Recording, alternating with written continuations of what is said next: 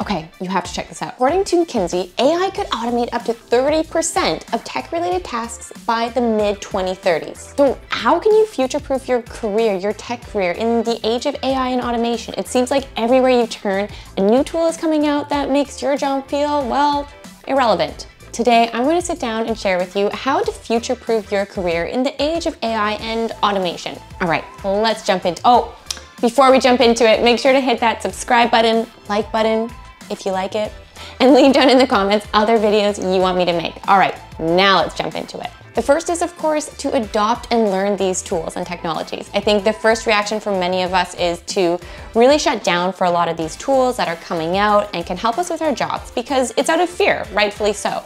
It's going to take your job, you hear everywhere you look on social media, and it's one of those things that, is it even worth learning to code anymore? Is it worth learning any of these skills anymore, to design anymore? Rather than starting to push these tools away, start learning to embrace them. And what I mean by that is see how they can actually help you in your job and enable you to focus on the bigger picture or bigger tasks at hand. For example, I recently shared on Instagram this clip here where it is taking a Figma design file and turning it into React code. This is such a cool platform and can be used in so many different ways. The number one question, of course, though, that I got asked throughout sharing this video is, what does that mean for front-end developers? Should I still even pursue front-end development if there's tools like this coming out? It seems like it's doing its job for me. A lot of these tools are advancing at a quick pace, but it doesn't mean that we shut down completely, you switch careers and fret because of AI, but rather, how can this tool enhance your workflow? All right, let's use this example. So we have a Figma file that the designer has passed on to the developer. With this React code, it's not as though you necessarily will take the entire React project and then that is the app. There is still so much that needs to be done. When you think of scaling, authentication, security, uh, and so much more. It's such a small piece of the puzzle that is actually solving. And this example can be done for countless jobs. At the end of the day, embracing these tools and technologies and continuing to upskill is the biggest takeaway, I hope, sharing the biggest takeaway from the beginning of the video. The biggest takeaway, or one of them anyways, for you to be able to really have a future-proof, successful career in this new age of AI and automation. AI and automation is not going anywhere. We see the numbers of it continuing to rise. So rather than pushing it away, you have to start embracing it and continuing to upskill. Okay, the next one is develop soft skills. And this might sound like, what do you mean develop soft skills? Soft skills come naturally.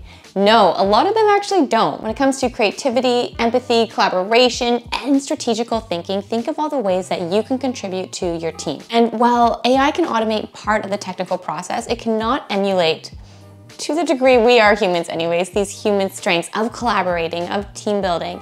And these are areas that even if you are a technical person, you really need to start putting an emphasis on. I recently saw in the World Economic Forum that social and emotional intelligence are among the top 10 most in-demand hard and soft skills. Focus on building these through communication courses, design thinking workshops, and more.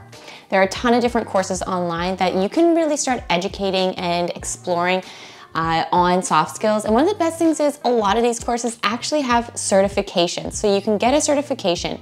And I think a lot of us here are very tech focused, wanting to gain the next programming language or next technical skill, but don't forget the soft skill side of things because that is, what is that saying they always say? People hire people. And that's not just for business side, that is also for the tech side too.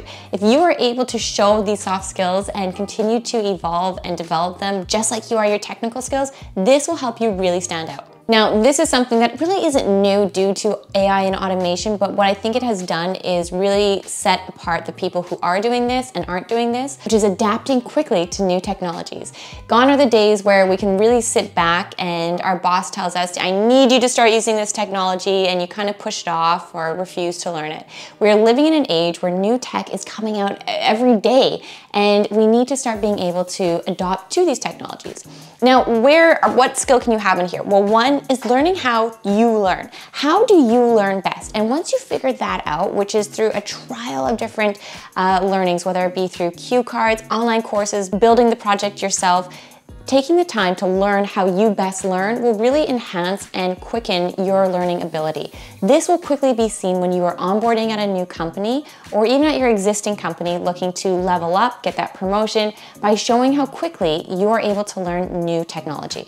Now, on that note, a question I get asked a lot about learning new technology and where to put your focus is generalist or specialist? Well, let's break down the two first. When you think generalist, it is someone who is able to really work with many different technologies, pick them up quickly, and doesn't necessarily go as deep as a specialist, but has an understanding overall enough to build with these technologies or speak to them, depending on the role. You go into specialist, this can once again be technical or non-technical. You are really diving into a very niche technology. So what are the pros and cons for each? Well, for specialist, of course, the niche technology that you are developing in or working with. For example, say you are an AI expert. Right now, you would be so in demand. People would be constantly reaching out to you, companies would be, because it's really trending right now. And that might be for a very long time and a great way to future-proof your career. The downside though with being a specialist is exactly what the plus side is, which is you are focused on such a specific technology that if by chance it becomes less in demand or less popular, you are in a strange place where you either have to continue to niche down because those technologies will still be used by tons of companies. However, there may be less jobs that are hiring for that role. We've seen this a ton with different programming languages in the past and how they have evolved over time. Now on the flip side, going back to generalist, some of the pros with being a generalist include being able to adopt quickly to new technologies, get your hands in different tech, speak about different tech, whatever your role specifically is. Whereas the downside is you don't get to go as deep because you are focused on many different pieces of tech versus one technology. There's no right way or wrong way. For myself, I'm definitely more a generalist, and that's what I like to do because I like that diversity. I like speaking about different technologies, learning about them, and it's worked really well for me in my career thus far. However, I do have a very a vision of where I want my career to go, and it does require being more of a generalist than a specialist. A specialist definitely has a career path in their mind as well, and it's more structured as far as what titles they want next, what roles they want next, continuing on this very niche path. Once again, no right way or wrong way, but it is something very important to consider as you start thinking about how you want to future-proof your career. What technologies do you want to put your energy into? Now, the next one I want to talk to you about is more something that you really have to learn to push yourself out of your comfort zone to do, which is really focusing and embracing creativity and innovation. Now, why do I say this is something you have to push yourself out of your comfort zone to do? Well, for one reason, it's because a lot of times when you get in a job or a role, you want to keep that job and role and you want to grow within it. So naturally you do what you are told, you check off those boxes, but if you are going to be a real innovator and creative thinker, you have to step outside of those boxes, which can kind of be scary at first. Some things that you might suggest or ideas you put forward actually might fail and not work the way you think. And that brings a lot of risk, it feels like, on your career and current role.